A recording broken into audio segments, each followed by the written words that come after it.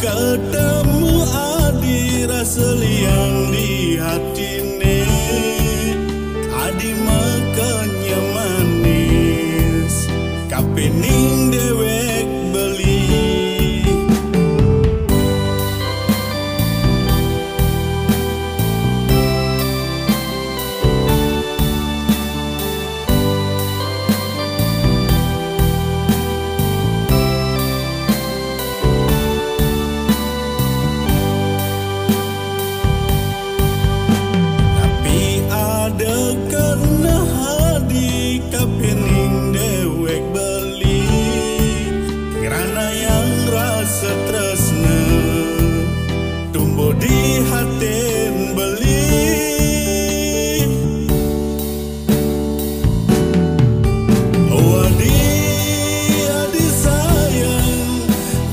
believe.